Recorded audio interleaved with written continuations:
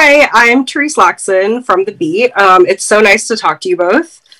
Thank you. So, Juan, um, I just first want to say that I was a huge fan of Good Behavior, and I'm so sad that we didn't get more of that show. Um, it's great to speak to you.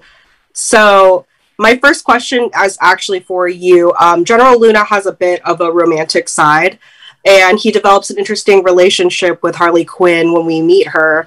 Um, so we know Harley is attracted to problematic men.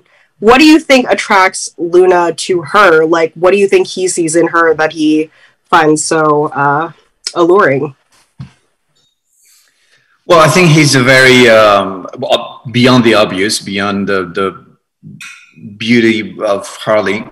Um, I mean, she's her reputation, and she's a famous um, I don't know what to say. She's a famous villain that eventually has had issues with um, authorities. And to my character, anyone who has has had issues with authorities and American authorities is a friend of us. Um, and I think, in my narcissistic point of view, from a narcissistic point of view, um, I would need someone that's like in my scale, and my scale is Harley Quinn.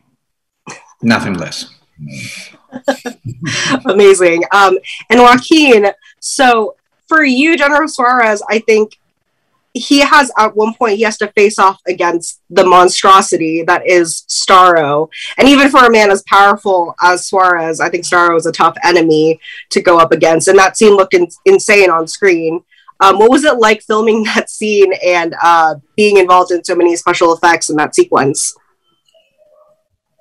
special effects in the sequence. Did no. you guys actually have a giant starfish alien? no. No, no, no. Yes, you have to imagine all everything. But the the, the little uh, uh, Starros mm-hmm. was real. You, you, you have it in your face. You put it in your face. But wow, um, the Starro you have to imagine imagine imagine it. Mm-hmm. Uh, so biggest, and it was a little bit difficult because all the the, the team must to to be the same at, at the same time. Mm. That was uh, really funny, but at the same time a little bit difficult. Gotcha. And then since you guys both play characters that are that oppose the Suicide Squad, if the roles were reversed and you could play any member on the Suicide Squad, who would you guys pick? Mm. Joaquin, you pick first. Diego loves Peacemaker. He's gonna say Peacemaker.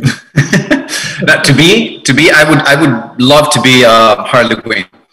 Um, because uh, first of all, I've never been a woman. That should be fun. And uh, second of all, I think she's the best character and then you could romance yourself too. that would be a trip.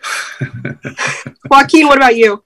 Well, I, I, I have two two characters that I love. The the thinker because he's I, I, I it's amazing. He's all in his in his brain, and the King Shark. King Shark. Oh is, yeah. Is powerful. You know, it's enormous, and his voice is is beautiful. Also, raw. He speaks great. I love it. Amazing. Well, thank you so much for speaking with me. Um, I love the film, and I can't wait for everybody to see you guys in it. Oh, thank you. Thank you so so much. It was great thank talking you. to you.